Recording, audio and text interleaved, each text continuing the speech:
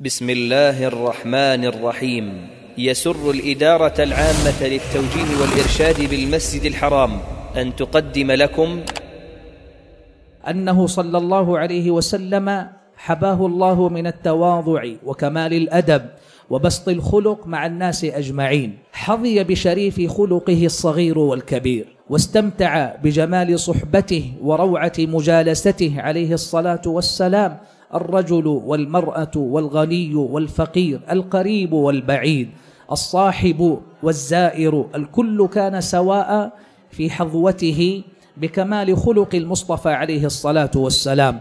هو باب عظيم ما زلنا نرتشف منه ونحن نغترف يوما بعد يوم وقرنا بعد قرن وجيلا بعد جيل تتروى به الأمة في أخلاقها وتسقي جذور القيم والمبادئ من معين المصطفى عليه الصلاة والسلام حسبكم قول ربكم سبحانه وإنك لعلى خلق عظيم.